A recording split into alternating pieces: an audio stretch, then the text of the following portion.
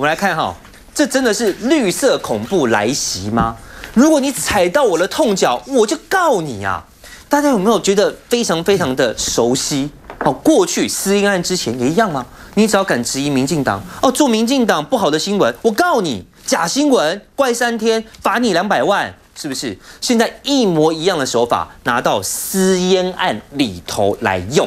我们先讲陈菊花妈好了，好，七月二十四号，哦，最最近的例子，这个十九岁的大学生，哎。大学生哎，你的学生做什么都对的吗？他也不过就是在 PTT 上面问卦说，哎，这个人是不是宗宪呐？是不是宪哥啊？哦，结果不是，哦，这是以前花妈的随扈，他只是提问而已。这个是吴宗宪吗？他没有说这个就是吴宗宪。结果没想到花妈看了心情不好，不开心，所以呢，学生发文道歉之后，还是被刑事局给函送。法办两天就抓到人。好，另外呢，哎，是我们的记者哈，这个邵玉明，他在问花妈的时候，问到这个捷泰私烟，大家应该呃捷泰日烟啦，哈，大家应该很清楚嘛。他问花妈，哎，很多私烟来自于捷泰日烟，呃，这个我不清楚。啊，过去高雄市府时期，问题还没问完，他立刻。好像有一点点警告的意味哈，我们的这个邵玉敏哈说这个哈有一点那个哦啊，你要小心使用哦，这不是摆明要让你心生恐惧吗？不要再讲捷泰喽，不要再扯我陈局哦，他跟高雄市政府没关系哦，你再讲我就怎么样哦，小心一点。然后呢，七月二十五号，国民党开记者会要求陈局为私烟案下台，结果花妈现在也说要对这些人提告，总统府出来开记者会还加码。要立刻澄清，否则要采取法律行动。对，花妈在这整件事情当中被大家质疑，会不会有角色呢？花妈是不是您应该要多说点话，把事情交代清楚，或甚至负起政治上的责任？好，面对外界的监督，总统府的秘书长是非但没有从善如流，反倒是你再问，我告你哦，你再讲。我告你哦，就是要你闭嘴嘛。过去我们常讲以告止谤，这是不希望有人善用言论免责权，或是有一些是是而非的谣言来传播不实的一些指控。可是现在民进党跟花妈的这些作为，不是以送止谤，是以送阻止真相的诞诞生。嗯，因为我不晓得是不是像右正讲的，因为这些爆料离真相越来越近，所以他必须用提告的方式来恐吓这些人，来阻止这些真相的被揭露。可是，是不是因为快要图穷匕现了，快要遮掩不住了？就像今天媒体上有写，是不是因为常进人已经只隔这隔热纸，嗯，稍微车窗摇下来，或稍微再大看一下，那六个人，不管是什么姓的，就不是马上呼之欲出了。嗯，各位看看我们这边所揭露出来的，不管是 PTT 的发文，哎，人家是用问号提问，哎，嗯，他没有说那个人就是吴宗宪啊，他只说那个人是不是，那有没有特殊政治上面的关系跟花妈？这样不行吗？不行。套句周星驰电影的话，公堂之上假设一下不行吗？不行，要告。过去有多少三明治媒体连问号都不用？嗯，不是照样抹灭很多我们蓝军的人士跟发言吗？多的嘞。同样的，我们国民党团开记者会要为私烟不要求陈局下台，不对吗？嗯，这不是太在野党天经地义的事情吗？这要告什么？这要恐吓什么？莫名其妙。我们龙介先讲说，哎，过去民进党初选期间好像有人收到一些私烟，我们怀疑是不是跟这些私烟有关？这样怀疑不行吗？总统府也恐吓他，也威胁。这样怀疑不行吗？哎，我们台湾现在是怎么了？过去不管是威权时代，不管是白色恐怖，民进党就是因为这样子发家的。现在绿色执政，这个绿色恐怖，我觉得他已经无所不用其极了，而且到了离谱的地步。两天之内把这大学生给抓了。坦白讲，今天如果没有问号，或许你还可以质疑他是不是违反所谓的公共秩序，违反政府公信力。那我请问，私烟事件发生到现在，真正影响政府公信力的是谁？是总统府自己吧？就政府啊？是民进党自己吧？你看黄崇彦今天讲什么话？他们七月二十三号开始组所谓的府内的政风处的一个专案小组，嗯，然后只是透过访谈，而且这个访谈大家知道还没有全部访谈完，八十二个涉案的里面有三个没访到，有被收押的，有离职的，访谈不到，就他就骤然下了一个结论说府跟国安会无人涉案，嗯，凭什么？第一个访谈有没有可能作假？有没有可能不说实话？你又没测谎，你怎么知道讲是真的？更何况你还没有全部访谈完。我刚刚讲了三个人因为收押或离职没有问到。嗯。第二个，我们还知道有八个代号，一百一千两百六十二条香烟，那八个代号后面是谁？不晓得。我们还有一个上千条的大户，嗯，还有一个八百条到九百条的大户，有四位士的人，有昨天我们节目提到的，有一个驾驶的上士，啊，那个史上最强的对资深士官，那这两个人后面有没有人在后面操纵？有没有人透过他们去代购私烟？不晓得。这么多真相未明的情况之下，你总统府的发言凭什么说总统府跟国安会无人涉案？嗯，或者说你讲说没有机要跟政务人员牵涉到购买私烟，凭什么？只因你这样一个非常潦草的一个对外交代性的所谓的访谈，就能够做出这么重大的结论吗？你这不是在带风向吗？是不是在引导我们司法人员的办案？现在我们检调正在侦办当中哦，不断在访谈哦，而且很多大咖是留在后面才要访谈的哦，在访谈还没有告一个段落，还没有做出是否起诉以及用什么罪名起诉的情况之下，总统府发言人这样的发言极为不妥。那这不是带风向？什么是带风向？所以我这中间，包括刚刚我们提到的，林佳龙说数量多少不重要，动机是什么不重要，怎么开始最重要。刚刚佑正讲的太好了，那以后高雄发生什么事都不要怪韩国瑜啦，那都是花妈时代就开始了。你什么淹水，关关关韩国瑜什么事情啊？你一个苏院长，过去是苏导，现在变独眼龙苏了，哦，因为你只看高雄，其他县市都不管的。有行政院长这样干的吗？那这次事件这么多奇奇怪怪的事情，说句不客气的话，今天如果说总统府跟所谓的高层，包括刚刚被周刊影射的六个，不管是什么姓的这些民进党的大咖，如果没有这些人参与，光是靠一个吴宗宪，光是靠四位是这些人，能够调动到华善公司的保税仓库吗？能够在总统府专机快回到台湾，去把它搬到货柜里面，然后混到总统府的车队里面去吗？我们的航空站，我们的桃园机场是随便任何一个人，一个小咖，甚至一个驾驶兵，甚至一个小小的侍卫，就能够去调动所有这些人来配合这些私烟的相关的剧情吗？我想大家扪心自问都非常清楚。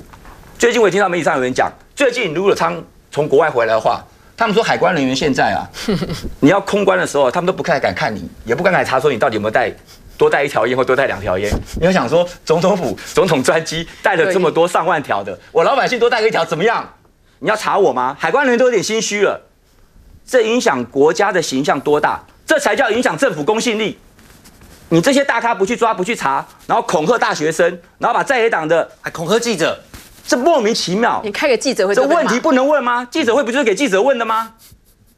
哎，民进党标榜自由、民主、开放，他们从街头运动起家，从反威权起家，到现在为止自己当家了，两次政党轮替过去了，民进党过去阿扁执政过八年，现在小英第一任还没结束，就已经绿色恐怖到了这样子，连媒体的新闻自由都完全不尊重，连在野党的合理监督，连一个大学生在 PT 上面一个问号的询问问卦都不行。嗯。这不是绿色恐怖是什么？难道我们民主要倒退二十年、三十年吗？所以我觉得观众真的要睁大眼睛。二零二零这一场韩国瑜当不当选不重要，中华民国的民主法治跟未来跟我们的言论自由要确保，这才是最重要的。对，诶，又是因为这个刚刚几位前面提到韩国瑜的部分哈，因为去蹭韩国瑜是会有流量的，会有声量，会有收视率。还有钱可以赚哈，所以他就变成一个很大的目标哈。所以呃，当然韩市长他基本上他不会去去告，如果韩国瑜要告的话，比较这标准告不完，那那那不得了哈。那所以之前韩市长在接受右政专访提到这个黑韩哈，黑韩它是个产业链，嗯啊一个产业链啊，它是有上中下游的。然后呢，他还跟右政这个股票这是一个形容词啊，你不要以为真的证交所真的有没有这个股票是形容词。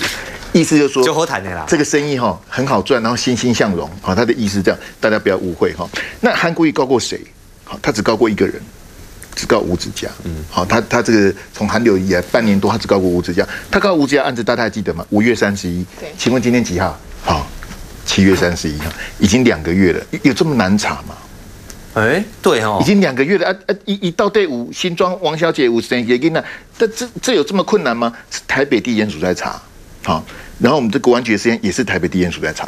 好，这个观众朋友就知道我要讲什么了哈。它是天下第一署啊，就是我们所有敏感的案子、大的案子都在台北地检署手上。那结果就非非常非常清楚。因为因为我我讲一个这个新闻啊，也是这个被修理的哈。这是一个呃姓朱的这个退伍军人哈。嗯，他在他脸书贴了一张这个，其实这个是旧的。好，这个在网络上已经。流传了一阵子，就是说蔡总统的官邸啊，花了一亿两千万，啊，对，然后呢，这个是假的，然后呢就跑去告哈，总统跑去告哈，那这个东西是假的，大家不要乱谈。这个一亿两千万是包括总统府跟官邸，对好，不是只有官邸啊。你如果只讲官邸，就因为官邸他也花了几百万，那个那个也都跟马总统跟扁总统比起来哈，也稀松平常。但比较奇怪是这个哈，正风是去跟刑事局报案。哎，这个跟政风有什么关系？我看不懂。你如果一般人，比如说我要告叶元之哈，我跑去刑事局，刑事局把他轰出来。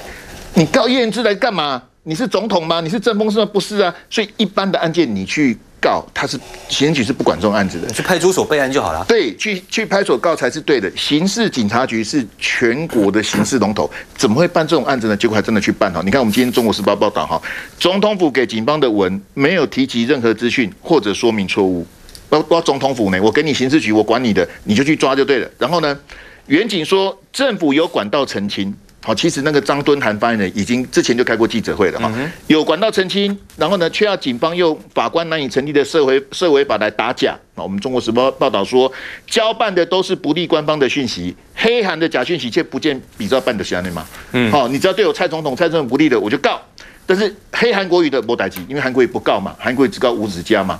好，韩国瑜对那些被他羞辱他人，他都是爱与包容嘛，他不告就打假，是打假还是打手了？哈，所以关键没有你你矿单内中通户去够退伍军人，其实这位朱先生啊，他是退伍军人，他讲的东西其实国民党的明代讲过，嗯，而且还是右政的这个这个来宾哈，我就不要讲名字了。国民党的明代质疑，那你为什么不告呢？你为什么不去告明代呢？我我再我再爆料一个哈，但我这不是要。不是要害韩国瑜，我是举这例子给大家听哈。这是前几天的国民党全代会，韩国瑜说蔡总统官邸耗耗费一亿，韩国瑜讲的，这是韩国瑜讲的，那个都有袋子啊。好，但是右正他是脱稿演出了，嗯，好，他的致辞原来稿子里是没有这一段，什么厨师六万什么那个都后他自己临时加的哈。那他也这样讲，那那那我请问大家，他们两个他是讲一亿两千万，他是讲一亿。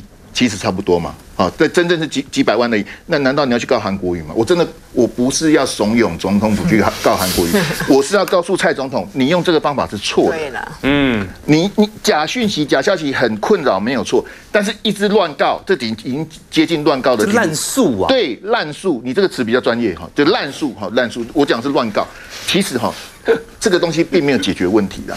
你看那韩国瑜讲，你要去告他吗？一个总统去告一个国民党提名人说：“哎，你你讲我花一亿，其实韩国瑜可他可能就是口误讲太快，没有讲完整。那一年的预算的确是一亿，嗯，那一年的预算还是马总统编的，因为你今年的预算是去年编的，所以蔡总统接任二零一六的时候，那个预算是马总统一百零五年度的预算是一百零四年编的，这你很清楚嘛？